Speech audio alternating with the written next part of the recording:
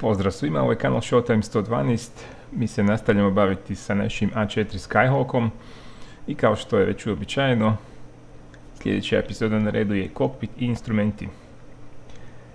Kokpit na A4 Skyhawku spada u High Fidelity kategoriju, što znači da je većina toga simulirana i modelirana i da je kokpit interaktivan, znači možemo klikati po raznim prekidačima i oni imaju funkcije koje su, koje su aktivne u DCS Worldu. Postotak je nešto manji nego kod e, baš službenih profesionalnih modula, ali još uvijek prilično velik. Krenut ćemo ovdje s desne strane. Ovo tu nije simulirano. Ovo je nekakav bypass za generator za slučaj nužde, ali mislim da nema neku funkciju Ovdje zatim imamo regulator osvjetljenja. Ovo je za instrument ploču, a ovaj drugi je za konzolu. Također ovdje možemo regulirati tri položaja. Svjetlo prigušeno ili e, srednje.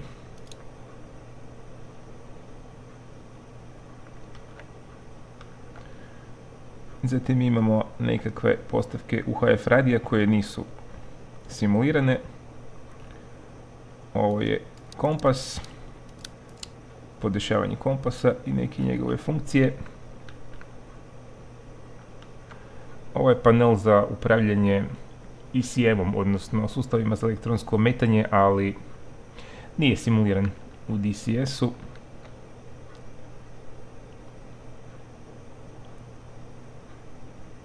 Ovdje je panel za identifikaciju prijatelj-neprijatelj, ali također ništa od toga nije simulirano. Kao što sam već više puta objasnio, u DCS Worldu je taj e, cijeli sustav prepoznavanja prijatelj ili neprijatelj simuliran na jedan pojednostavljeni način, tako da čak i kad bi bio tu aktivan kao što je na nekim avionima, poput recimo MiG-21, nema, nema nekakvu funkciju ovo ovdje je panel za upravljanje takan navigacijskim sustavom. U navigaciji će biti više riječi u posebnom videu, ali sad samo da na brzinu pređemo. Znači tu možemo regulirati kanale ovdje i ovdje s pomoću ova dva prekidača, odnosno selektora biramo kanal, ovdje biramo u kojem položaju se nalazi sam takan, znači da li je isključen, da li samo prima, da li prima i odašilje, a ILS je za slijetanje po instrumentima, ovo glasnoća signala. Ovdje zatim imamo UHF radio. Ovdje ga možemo upaliti, odnosno birati pojedinu funkciju. Ovdje je ugašen, ovdje i odašilje i prima, ovdje odašilje i prima i ujedno sluša guard frekvenciju. E, guard frekvencija je jedna općenita frekvencija koja služi za nekakve slučajeve nužde i u pravilu uvijek ju nadziru nekakve službe koje mogu pomoći pilotima koji se nađu u nekakvom problemu. Znači ako imamo nekakav veliki problem, a ne možemo sad, nemamo vremena zabirati neku konkretnu frekvenciju, onda možemo prebaciti na guard i neko će nas čuti ko će nam možda moći pomoći. ADF je sustav radionavigacije. Ovdje imamo funkciju smanjenja šuma, odnosno smetnji. Ovdje biramo ovo je položaj za unaprijed programirane memorije. Biramo ih tu pomoću ovog okretnog kotačića. Možemo ih unaprijed programirati u meniju odnosno u Mission Editoru. Ovo je položaj za ručni odabir. S pomoću ova tri kotačića biramo frekvenciju i ovo je odašiljanje na e, guard frekvenciji koju sam malo prije spomenuo. Ovo je vjerojatno predviđeno za unos, unos memorije, odnosno unaprijed programiranih frekvencija radiostanica. Ovo ovdje je panel za doplersku navigaciju. Doplerska navigacija je jedan sustav koji koristi Dopplerov efekt da bi procijenio koliko se avion pomiče od neke određene točke. Radi slično kao ona inercijalna navigacija koju smo spominjali kod nekih drugih modula. E, to je jedan dosta stari sistem, nije osobito baš e, pouzdan niti previše precizan, ali ipak e, pruža nekakvu prednost u odnosu na avioni koji imaju samo radio navigaciju, kao što su recimo MiG-21 ili F-5. Prednost ove navigacije je što je autonomna, ne ovisi o nekakvim vanjskim izvorima o radiofarovima. Sustav može zapamtiti samo dvije navigacijske točke, no međutim i to je već nešto. Možemo programirati recimo navigaciju, navigacijsku točku e, cilja kojeg napadamo i sustav će ga relativno precizno naći. Ima neka ograničenja, ne smijemo se naginjati više od, e, mislim da je 30 stupnjeva bočno ili tako nešto. Imat ćemo poseban video o navigaciji, pa ćemo to malo pobliže opisati. Ovo ovdje su pokazatelji trima. Ovo je trim po vertikali, ovo je trim kormila. Znači kada trimamo avion, evo sada recimo ga trimamo prema gore, kazaljka se diže. Ako želimo trimati kormilo u lijevo, evo sad ga trimamo u lijevo, vidimo kako se i sama pedala kormila dolje pomiče skupa s trimom.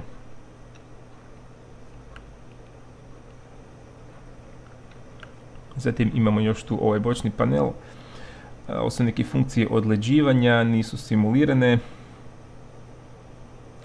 Ovdje tu isto ništa nije simulirano. Ovo je temperatura u kabini. Prekidač se okreće, ali mislim da isto nema nikakvu funkciju.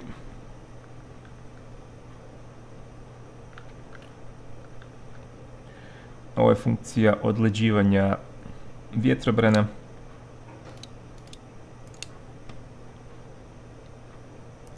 Ovo je pritisak u kabini.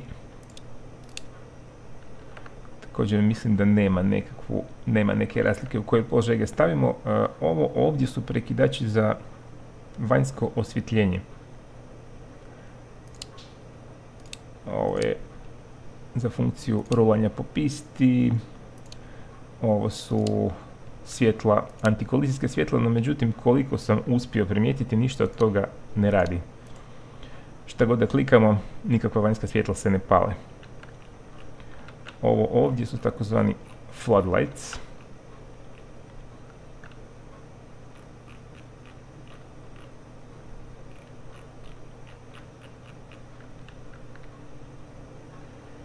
To je to što se tiče desne strane. Mislim da tu nema više ničega. Ovo ništa nije simulirano. Ne. Krenut ćemo onda sa instrumentima. Ovo je fotografija vjerojatno pilota i njegove supruge ili možda djevojke. Ovdje imamo količinu goriva koja pokazuje u tisućama funti. Ako imamo neki vanjski tank, onda možemo stisnuti ovaj prekidač ovdje i sad nam pokazuje koliko goriva imamo u vanjskim tankovima. Znači imamo 2000 funti u vanjskim. Ovo je protok goriva. Pokazuje u tisućama funti na sat. Trenutno motor radi u wide loop, pa je protok vrlo nizak. Naravno, čim se snaga motora povećava, protok raste. Ovo je radarski visinomjer. Mjeri do 5000 stopa, znači radarski visinomjer odašilje signale prema tlu i prema tome određuje eh, na kojoj visini iznad tla se avion nalazi Naravno, ako se krećemo iznad e, neravnog terena, onda se ta vrijednost konstantno mijenja i ako se nagnemo za više od nekakvih 30 stupnjeva, onda isto ne pokazuje točno. Tu još imamo jednu funkciju upozorenja. Sa ovim kotačićem vidimo da se ovaj trokutić pomiče. Kad podesimo na određenu visinu, onda će nas sustav zvučnim i svjetlosnim signalom upozoravati da smo prenisko. Ako ga želimo isključiti, onda jednostavno stavimo na neku minimalnu vrijednost. Ovo ovdje je e, rezervni umjetni horizont. Možemo ga i podešavati. Ima ovu uncage funkciju. Ovo je količina tekućeg kisika koju još imamo u sustavu, znači služi za, za pilota, za disanje. Zatim imamo ovaj pokazatelj temperature motora, mjeri u stotinama stupnjeva Celzija, crveno je tu na 650. Ovo ovdje je pokazatelj potiska motora u postotku.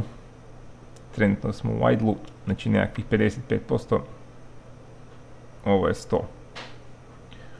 Ovo je pritisak ulja u sustavu, pokazuje u stopama po kvadratnom inču i su, ove dvije crvene su očito nekakvi limiti gdje bi između te dvije bi se trebalo nalaziti. E, ovo je omjer pritiska. On pokazuje e, omjer pritiska e, na ispuhu turbine i omjer ulaza zraka na kompresoru. Osnovi pokazuje nekakvu, nekakvu učinkovitost motora. Ovdje imamo lampicu koja se pali ako je pritisak ulja prenizak. Ovo je sat. Ovo ovdje je nešto što nije funkcionalno, to je uh, Labs je jedan sustav za bombardiranje na maloj visini Low Altitude Bombing System uh, koji A4 posjeduje, no međutim on nije implementiran. Ne funkcionira u DCS-u. Ovdje zatim imamo radar i razne njegove funkcije. Uh, ovo je radar zrak-zemlja može služiti znači, za detektiranje nekakvih kopnenih ciljeva, za navigaciju, za izbjegavanje terena, za određivanje udaljenosti do kopnenih ciljeva i tome slično. Naravno, više ćemo o tome u posebnom videu. Ovo je filter. Ima dva nekakva prikaza od ozgo i sa strane. Zatim imamo umjetni horizont on nam pokazuje nagib našeg aviona po vertikali i bočno. Ovo je naravno simbol aviona. Horizont je ovdje. Znači linija između zraka i tla. Pokazuje nam smjer u kojem smo trenutno okrenuti. Znači trenutno gledamo negdje 200, nešto ispod 280 stupnjeva. Otprilike smjer zapada. Ovo su stupnjevi vertikalnog nagiba. Ovo je indikator bočnog proklizavanja. Ova funkcija nije simulirana. Zatim tu dolje imamo e, nekakve indikatore, odnosno lampice upozorenja koje se odnose na onaj jedan od onih sustava bombardiranja koji nisu simulirani u DCS-u pa nam nije ni toliko bitan. Maknut ćemo palicu da nam ne smeta. Sljedeća stvar koju zatim imamo je e, pokazatelj horizontalne situacije to je kao neki sofisticirani kompas. Isto nam pokazuje u kojem smjeru se krećemo, a može raditi u sprezi sa navigacijskim sustavima u kojem slučaju nam služi ova igla i ovo ovdje što je udaljenost. Znači pokazuje smjer i udaljenost do sljedeće navigacijske točke. Ovo je panel koji se odnosi na naoružanje i odbacivanje tereta. Što se tiče odbacivanja, ovdje možemo odabrati sa kojih podesnih točki želimo odbaciti neki teret, da li samo jedne pojedinačne, sve ili samo četiri potkrilne. Znači, odaberemo ovaj prekidač i onda povučemo ovu ručicu i teret je odbačen. Ovaj prekidač za topove, ako želimo ispaljivati topove, postavimo ovaj prekidač u gornji položaj, dolje su zakočeni. Ovo je prekidač za e, pripremanje detonatora bombi. Trenutno u srednjem položaju detonatori su zakočeni. Ako ga stavimo u gornji položaj, onda će se aktivirati pri udaru i detonatori i u nosu i u repu, a u ovom donjem položaju samo u repu. Ovo su podvjesne točke. Imamo ih pet i kad stavimo prekidač u gornji položaj, onda podvjesnu točku biramo, to jest eh, s njom želimo nešto napraviti. ovo ovdje se odnosi na navigaciju i biramo koji od navigacijskih sustava je trenutno glavni, to je koji je aktivan, koji je povezan sa ovim instrumentom. Uh, u gornjem položaju uh, to je onaj doplerski, u srednjem položaju je takan, ovaj dolje ADF. Ovo je glasnoća glasnoća nekih oružnih sustava. Recimo ako imamo raketu Shrike, ona će davati određeni ton i onda možemo regulirati njezinu glasnoću. Tu je i vođena bomba, televizijska vođena bomba Walleye koju nažalost nemamo. Ovo je nešto što nije simulirano. Ovi prekidači se odnose na radar. Znači kakav imamo prikaz, da li imamo e, prikaz od ozgo ili sa strane na radaru. Ovo je domet, kraći ili duži, 20 ili 40 milja. Ovo je već onaj spomenuti prekidač za prikaz eksternog goriva.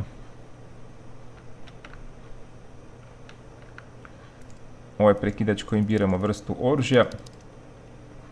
Nevođene rakete. Ovo nisam uspio naći čemu služi.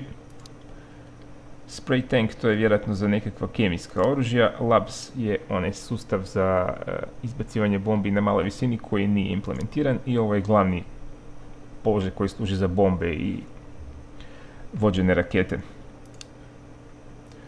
Ovo je takozvani master arm switch, odnosno glavni prekidač za naoružanje. Prije nego što bilo koje naoružanje želimo ispaliti, moramo ga postaviti u gornji položaj. Ovo je e, prikaz pritiska u kabini.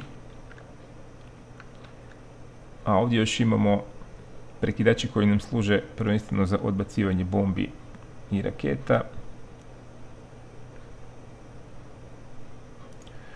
Ovdje biramo koliko oružja želimo odjednom odbaciti. Oružje iste vrste, naravno. Ako imamo različite vrste bombi, onda će se to odnositi samo na one koji su trenutno odabrani. Znači ovdje odbacujemo dvije bombe, 3, 4, 5 ili koliko već. Ovo je interval, odnosno razmak u kojem će se te bombe odbacivati. Početna postavka je na milisekunde, odnosno tisućinke. Ako ovaj prekidač prebacimo u donji položaj, onda se ova vrijednost povećava za 10. I ovdje imamo prekidač za dva načina odbacivanja bombi, odnosno oružja. Jedan je step, drugi je ripple. Biće više riječi o tome u videu o naoružanju. Ovo je instrument koji nam pokazuje našu vertikalnu brzinu, to jest da li se penjemo ili gubimo na visini, e, prikazuje vrijednosti u tisućama stopa po minuti. Ovaj instrument je vrlo bitan prilikom sljetanja, kada je vrlo bitno kojom točno brzinom udaramo u tlo. Ovo ovdje je instrument koji pokazuje napadni kut, odnosno angle of attack. Tu je malo ovako na jednom dosta nezgodnom mjestu, teško ga je vidjeti. Ovo je standardni barometarski visinomjer. Ovo ovdje su tisuće stopa, ovo su stotine. Ovo desetine tisuće kad pređemo tu vrijednost, a ovaj, ova kazaljka također pokazuje stotine preciznije. Možemo podesiti ovaj koji je fa vrijednost, a trenutno smo i onako na nadmorskoj visini koja je otprilike nula, pa je to podešeno. Ovo su uh, inči, inči žive ova funkcija nije aktivna. Ovdje imamo još nekakve lampice upozorenja. Filbu se odnosi na transfer, transfer goriva, odnosno napajanje gorivom. Kontrolna hidraulika, to su dva hidraulička sustava koje imamo na avionu. Fuel transfer, prijenos vjerojatno iz vanjskih tankova. Ovo nas upozorava da je zračna kočnica aktivna i ovo nas upozorava da je spoiler izvučen.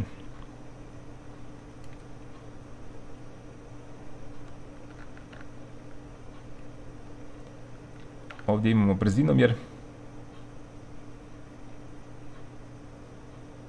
Pokazuje nam brzinu u čvorovima i u mahovima. E, malo je malo je čudan. Znači ove nekakve početne vrijednosti broj ovdje do oko 140-145 čvorova, a zatim se nastavlja ovdje. Znači množimo sa 10, ovo je 200 čvorova, 300 čvorova, 400, a ovdje počinje od 0,5 mahova pa nadalje, pa sve do jednog maha. A 4 je pozvučan avion, znači može se negdje približiti brzini zvuka, ali u pravilu ju ne probija.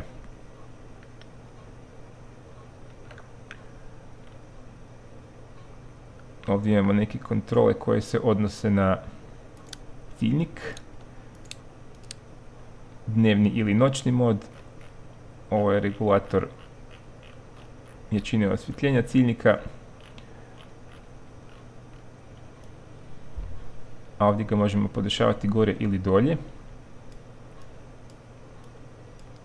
To nam služi za bombardiranje odnosno napadanje raketom pod određenim kutem. Ako se sjećate kako smo to radili na F5, na A4 je vrlo slično. Znači nema kompjuter koji izračunava točku udara, već moramo ove vrijednosti u miliradijanima podesiti ručno i onda slijediti neki točno određeni profil napada.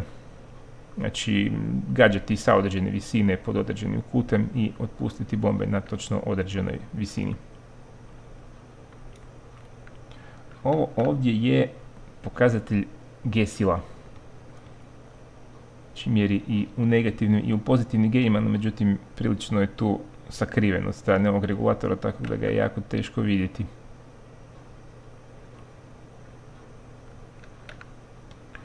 Ovdje imamo panel koji se odnosi na, na ECM, odnosno prijemnik radarskog upozorenja.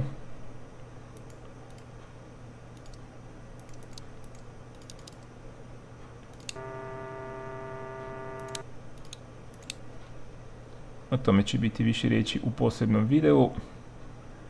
Ovo ovdje se odnosi na mamce. Pokazuje nam koliko imamo radarskih mamaca, koliko toplinskih. Potrebno ga je uključiti da bi funkcionirao. I ovdje biramo da li izbacujemo samo radarske mamce, samo toplinske ili oboje. Ovo je nekakva automatska funkcija, ali mislim da ne djeluje to jest da nije simulirana u igri.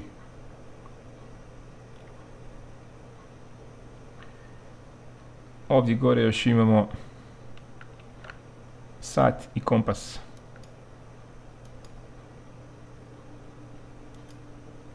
Ovo je funkcija štoperice koja je čak i simulirana.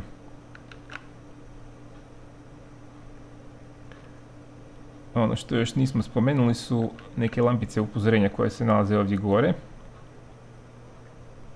Sada se baš ne vide dobro zbog svjetla.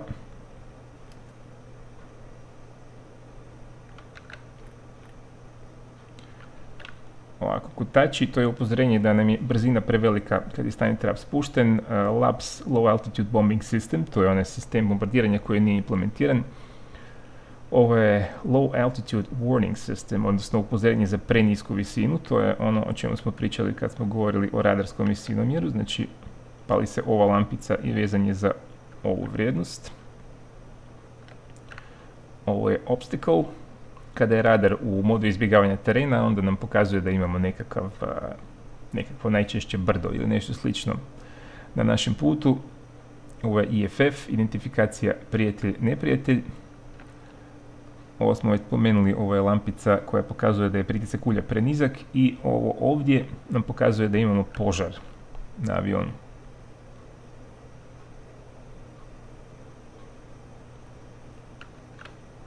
Ovo je ručica stanjog trapa, no međutim ona nije simulirana, stanji trap možemo podizati i spuštati tipkovnicom, tipkom G. Ovo je ručica koja ispušta stanji trap u slučaju nužde, znači ako se glavni sistem pokvari, ako ostanemo bez hidraulike, onda možemo povući ovu ručicu i gravitacija i, otpor zraka će spustiti stanji trap. Ovo je pokazatelj stajnog trapa lampice da su svi spušteni. Ovo je pokazatelj flapsova. Kada spuštamo flapsove onda nam pokazuje sada su u punom položaju. Ne znači da su po 90 stupnjeva nego nešto manje. Ovaj panel ovdje odnosi se na eksterne topove. Možemo nositi tri eksterne topa. Biramo ih sa ovim prekidačima ako želimo da, bude, da budu aktivni. Kada želimo da pucaju, onda ih stavimo u ovaj položaj charge, u off su isključeni, a clear služi za ako dođe do zastoja. JTO, odnosno ponekad se zove i RATO, to je e, sustav za poljetanje pomoću dodatnih raketnih motora, ali u ovoj e, simulaciji ne postoji, to jest nije implementiran. Ovo ovdje APC zove se Automatic Power Compensation. To je jedan automatski sustav koji regulira potisak motora prilikom sljetanja kako bi održavao optimalnu brzinu za sljetanje. To može biti dosta korisno prilikom sljetanja, onda ne moramo voditi računa o potisku, to se radi automatski, palimo ga ovako, prvo u standby pa zatim engage. Ovdje još dodatno možemo regulirati, to je treći sustavu kakva je vanjska temperatura, da li je nekakva srednja ili je niska ili je vrlo vruć dan. To je nešto što ovisi o njegovoj funkciji. Evo, onda se prikazuje ovdje kada je taj APC u standby. A jednu stvar smo još također zaboravili spomenuti ovdje. Ovo je sustav koji nam pokazuje kakav nam je napadni kut prilikom sljetanja. E, sad se zbog svjetla baš ne vidi boje, inače su crvene, zelene i žute. Ako je upaljen samo kružić, onda znači da nam je napadni kut optimalan. Ako je upaljen ovaj dolje trokut, onda je pre, e, prenizak. Ovaj gore trokut znači da je previsok.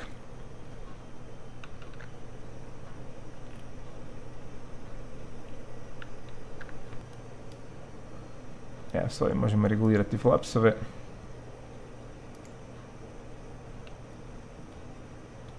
a s ovom ručicom ovdje aktiviramo spoiler. Sad šta je točno spoiler?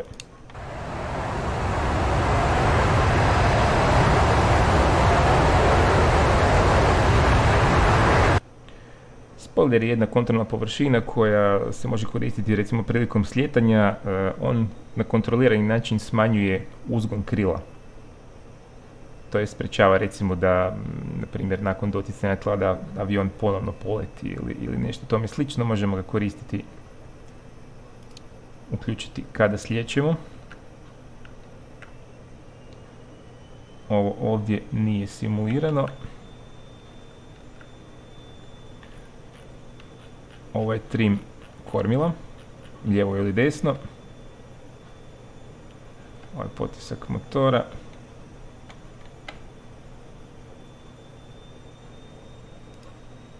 Ovdje je ručica s pomoću kojeg možemo isključiti dovod goriva motoru za slučaj nužde. Znači ako imamo recimo požar ili nešto slično, onda najbolje da ovo samo podignemo ovu kočnicu i prekida se dovod goriva u motor.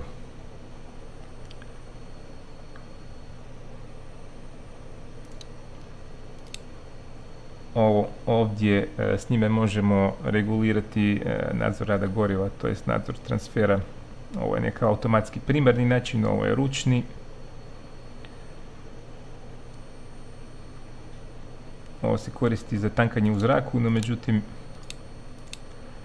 to i onako nije e, simulirano, a ćete za sad nema mogućnost tankanja u zraku.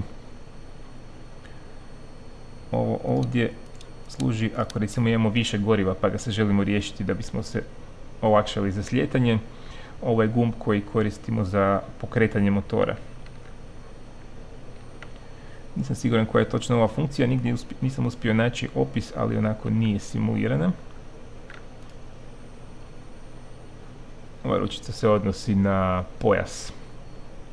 Može se pokretati, ali ništa konkretno ne radi. Su funkcije radara. S pomoću ovoga biramo, znači ovdje je uključen, isključen zapravo. Ovo je standby, stanje pripravnosti, ovo je standardni mod pretrage, ovo je izbjegavanje terena, a ovo je određivanje dometa za ciljeve na tlu. S ovime možemo podići ili spustiti antenu ako je to potrebno. Ovo je glasnoća sustava za upozorenje na prepreke. ovo je kompenzator napadnog kuta za radar. Ovo je ručica kojom otvaramo i zatvaramo poklopac kokpita. Ovaj panel odnosi se na autopilot. Na funkciju autopilota prvo ga postavimo u standby i zatim ovdje možemo birati određene modove koje e, Skyhawk ima, kao što su recimo držanje visine, držanje smjera, povećanje stabilizatora, povećanje stabilizacije i tome slično. O autopilotu ćemo govoriti u posebnom videu. A GCPS to je e, jedan sustav koji se može koristiti za bombardiranje pomoću navođenja sa zemlje, ali ništa od toga nije implementirano u DCS Worldu. Ovdje imamo zračnu kočnicu za slučaj nužde. I ovaj panel odnosi se na kisik. Ova ručica je animirana, iako mislim da ništa konkretno ne radi.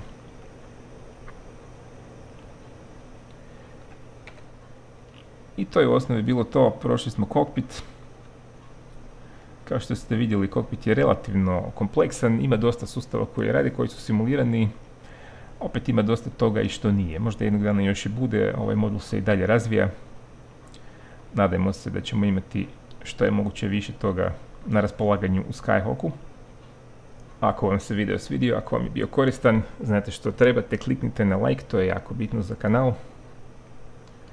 Ako se niste pretplatili, pretplatite se i pratite nas dalje. Pozdrav svima!